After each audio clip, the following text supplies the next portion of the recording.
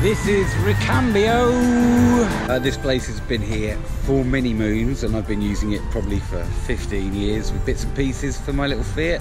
They're going to go in and uh, pick up some parts from Franco and take them down to Frank. Tell me quando, quando, quando. we Buenos dias. Where's Franco gone now? This is my bundle. make me wait again. My carpet and my seat covers. Yay! Proper treasure trove in here of everything and anything classic Fiat. Is that right, Connor? Of course it is, Daniel. Of course it is. Franco. Buongiorno. Bonjour. Can you show us around a little bit? Tell us what you got. We've been here a, a long time. We've been around 50, this is our 50th year. 50. 50. This way we've got a massive discount.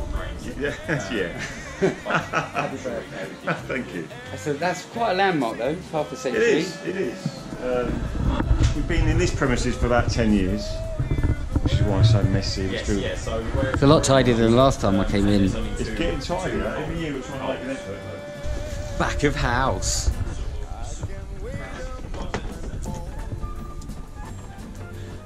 Quite a few parts and bits and pieces. You must be quite well organised.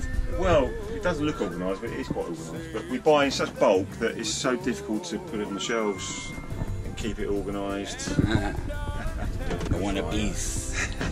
This is all the brakes in here. This is bushes. Oh god, it goes all through there as well. We're also having a big clear out of stuff which goes on eBay. So this is the warehouse, which has got a mixture of bodywork, um, everything. Doors, Loads of bodywork, both sides.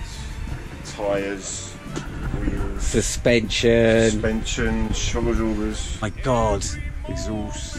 And is it just the two of you in here then? We've got- you and Connor, Um, my wife works as well. keeping it in the family. Yeah.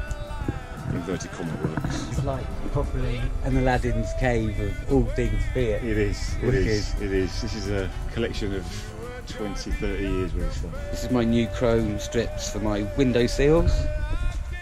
They look rather good on me, They look really nice. Gearboxes, pistons. And you told me that you're doing something with the new Mission Impossible film. What's that all about?